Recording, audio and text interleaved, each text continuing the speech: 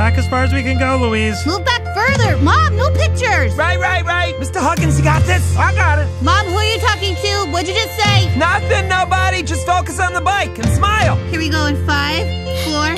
Dad, no crying. I'm sorry. Don't worry, Louise. If your father screws this up, I'm ready to step in and be the hero. For the record, I totally paved the way for this whole thing to happen with my amazing speech earlier, but yeah, it's fine. Three,